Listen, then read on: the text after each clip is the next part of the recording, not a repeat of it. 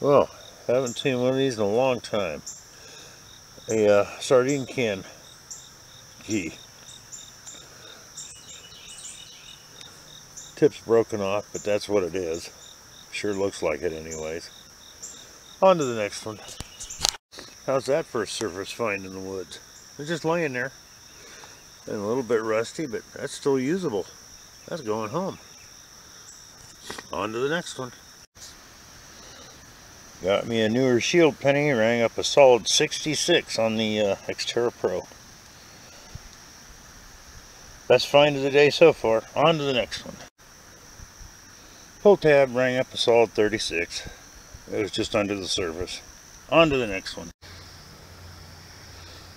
My first target is an old button. Shank's missing. But it's a button.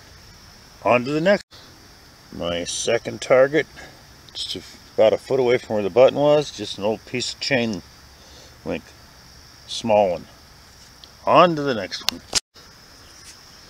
Looks like an old-timey phone bell. I found one of these not too long ago. This must be the other one, one of the old crank phones. Sweet. That's a great relic to have. On to the next one.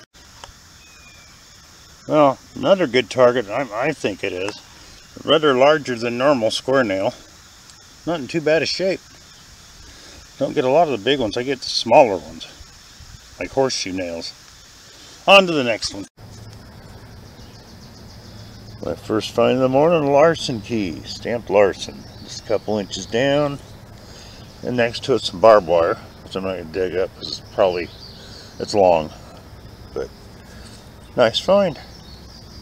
On to the next one.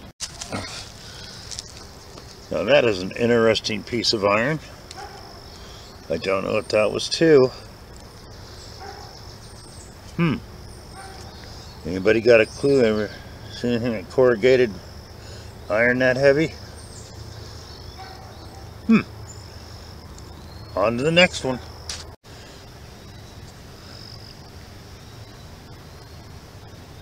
Very old, crusty head stamp.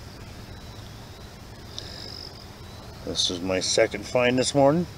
On to the next one. Well, my next find, some old chain link buried in the ground with a root growing through it. Got that dug out of it.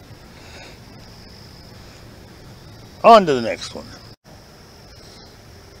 Well, I got me another rivet. Can't read that one. I'll have to figure that out when I get home, but another cool find. Piece of horse tack. That was ringing up a solid 78 on the Xterra Pro. Just the right shape. On to the next. Well, right down there under this old snag. Ooh, that's part of a stove. That is a cool find. Look at that baby. That I like. Great find. On to the next one. Hello there, good morning. Back on the hillside, I'm digging more slap rounds. These things are like 40 years old. Been laying out here. They're live, I take care of them, no problem. But, uh, I dig a lot, a lot of live ammo out here. On to the next one. Pull tab. Wasn't very deep. I knew what probably going to be a pull tab or a piece of aluminum. On to the next one.